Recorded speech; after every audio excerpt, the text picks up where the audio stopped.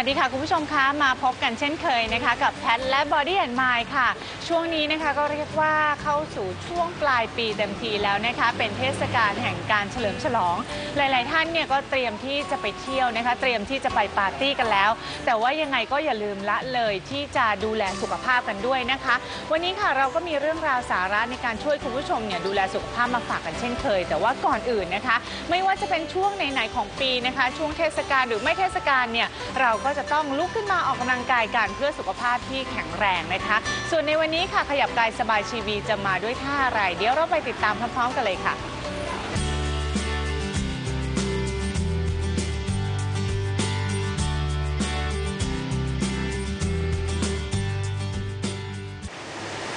ผ่อนคลายแขนทุกส่วนนะคะ ทั้งซ้ายและขวา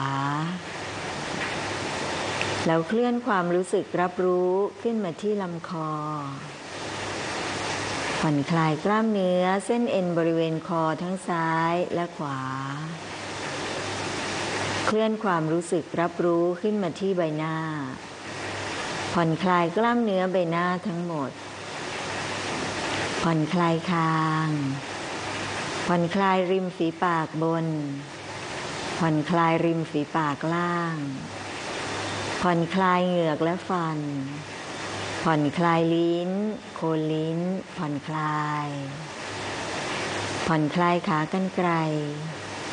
ผ่อนคลายกระพุ้งแก้มทั้งซ้ายและขวา เลื่อนความรู้สึกรับรู้ขึ้นมาที่ปีกจมูก ผ่อนคลายปีกจมูกทั้งสองข้าง เคลื่อนความรู้สึกรับรู้ขึ้นมาที่เปลือกตา ผ่อนคลายเปลือกตาซ้าย ขวา เคลื่อนความรู้สึกรับรู้ไปที่รอบดวงตา ผ่อนคลายกล้ามเนื้อรอบๆดวงตา ส่งความรู้สึกลึกลงไปในกระบอกตา ผ่อนคลายกล้ามเนื้อภายในกระบอกตา แล้วเลื่อนความรู้สึกรับรู้ ไปอยู่ตรงกลางระหว่างคิ้ว ผ่อนคลายหว่างคิ้ว ไม่ขมวดคิ้วอีกต่อไป แล้วส่งความรู้สึกรับรู้ขึ้นไปที่หน้าผากผ่อนคลายกล้ามเนื้อบริเวณหน้าผากส่งความรู้สึกรับรู้ไปที่กระหม่อม ผ่อนคลายกล้ามเนื้อ ผ่อนคลายอวัยวะภายในกระหม่อมของเรา ภายในกระโหลกศีรษะของเราผ่อนคลาย ผ่อนคลายความรู้สึกนึกคิด แล้วผ่อนคลายใจ หันกลับมาดูใจ มีสิ่งใดที่ค้างคาอยู่ในใจ ให้ผ่อนคลายลง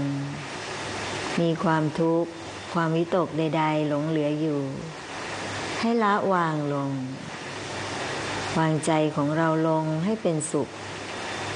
แล้วกลับมาตามรู้ ดูลมหายใจเข้าออกนำจิตวิญญาณของเรากลับมาประคองลมหายใจเข้าลึก ออกยาว จิตของเรายังคงตามรู้อยู่ที่ลมหายใจเข้า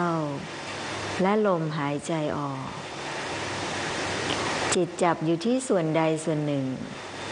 ที่กำลังเคลื่อนไปตามลมหายใจอย่างเช่น การเคลื่อนของหน้าท้องพองขยายเมื่อลมหายใจของเราเข้าลึก จับจดอยู่ที่ลมหายใจออกหน้าท้องแฟบลดลง หรือจับลมหายใจที่ผ่านเข้าทางปลายจมูก และผ่านออกทางปลายจมูก รับรู้แค่เพียงลมหายใจเข้าออก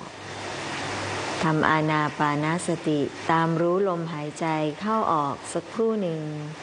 ด้วยจิตที่ปล่อยวางดวงใจที่มีแต่ความสงบ เยือกเย็นและผ่อนคลาย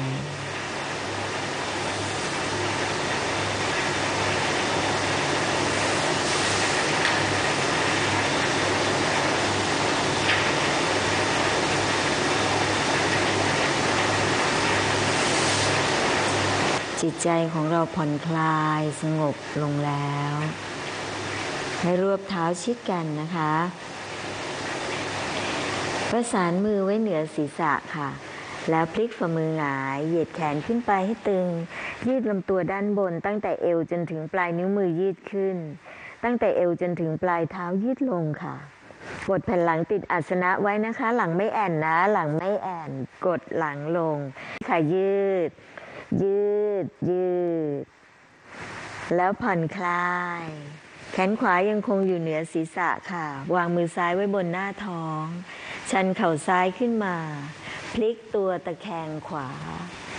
ยกศีรษะวางบนต้นแขนขวา เข่าซ้ายวางไว้ที่พื้นด้านหน้า มือซ้ายวางไว้ที่ด้านหน้าลำตัว รับรู้การหมุนเวียน ลมหายใจเข้าออกสามรอบลมหายใจ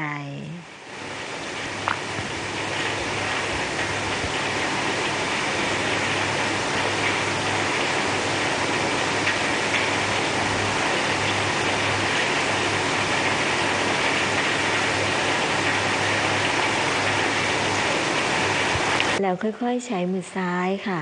พยุงตัวลุกขึ้นนั่ง ยังคงหลับตาอยู่นะคะ เข้าสู่ท่านั่งสมาธิค่ะ เข้าสู่ท่านั่งปทุม หรือท่านั่งดอกบัวนะคะสมบูรณ์แบบ ยกขาขวาวางบนต้นขาซ้าย ขาซ้ายวางบนต้นขาขวา วางมือบนหัวเข่าหงายฝ่ามือ นิ้วชี้นิ้วโป้งแตะกันเบาๆ ยืดกระดูกสันหลังให้ตรงนะคะ ผ่อนคลายคอบาไหล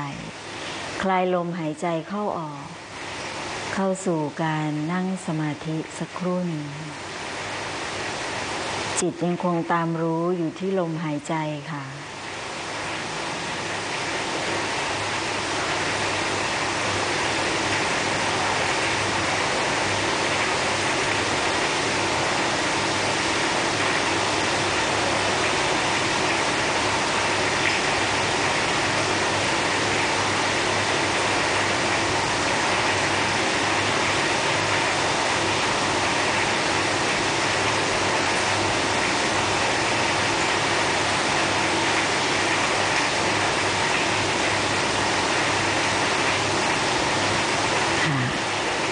ยกมือพนมกลางอกค่ะโน้มศีรษะลงจรดปลายนิ้ว ขอบคุณมากค่ะ When you were young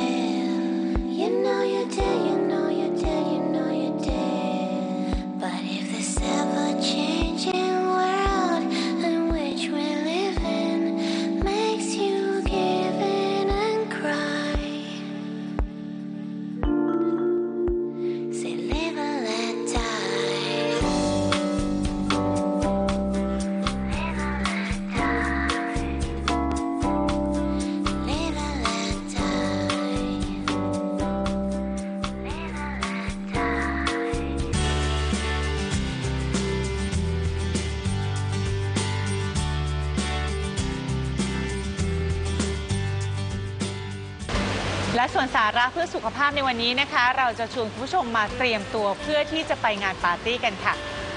การเตรียมตัวให้พร้อมก่อนที่จะไปงานปาร์ตี้นะคะหนึ่งไม่ควรอดอาหารก่อนไปงานเลี้ยง เพราะว่าร่างกายเนี่ยจะมีระดับน้ำตาลในเลือดต่ำและอาจจะทำให้หิวมากขึ้น 2. ก่อนไปงานเลี้ยง 1-2 ชั่วโมง ควรกินผลไม้ที่ไม่หวานจัด เพื่อให้พลังงานแก่ร่างกายจะได้ไม่หิวมากเกินไป 3. ดื่มน้ำเปล่าน้ำสมุนไพร หรือว่าชาที่ไม่ผสมน้ำตาลตลอดวัน เพื่อทดแทนปริมาณเครื่องดื่มต่างๆ ที่คุณอาจจะดื่มในงานเลี้ยง 4 1-2 วันก่อนงานเลี้ยงนะคะ ควรกินอาหารเย็นที่มีไขมันต่ำเพื่อเป็นการสร้างสมดุลลดจำนวนแคลอรี่เข้าไปในร่างกาย และ 5 นะคะใส่เสื้อผ้าขนาดพอดีตัวไปงาน เพราะว่าขนาดของเสื้อผ้าเนี่ยสามารถช่วยประเมินเบื้องต้นได้ว่า วันนี้คุณกินอาหารมากเกินไปหรือไม่ค่ะ และนั่นก็คือเทคนิคที่จะช่วยคุณผู้ชมเตรียมตัวก่อนที่จะไปงานปาร์ตี้นะคะ ยังไงเอาไปปรับใช้กันได้ค่ะ ส่วนช่วงนี้ไปพักกันสักครู่นะคะ เดี๋ยวกลับมาพบกันในช่วงหน้าค่ะ